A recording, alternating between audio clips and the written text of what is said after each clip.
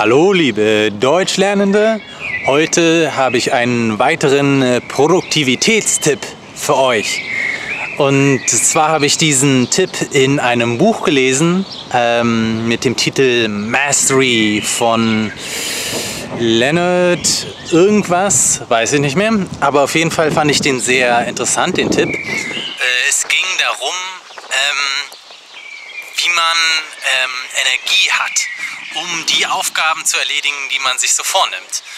Und äh, sein Tipp oder einer seiner Tipps war, dass wir Energie bekommen, wenn wir Energie für etwas verwenden. Das ist ein ganz interessantes Phänomen und ein Phänomen, das ich auch bei mir selber äh, mitgekriegt habe. Wenn ich in mein Bett liege und nichts mache und nicht aufstehen will, dann habe ich auch kaum Energie.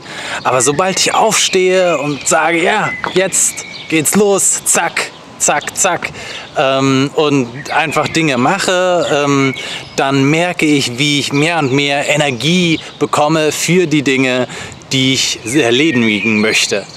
Und äh, ja, ihr habt vielleicht mitgekriegt, dass ich gerade auf einer Schaukel bin. Das nennt man hier Schaukel.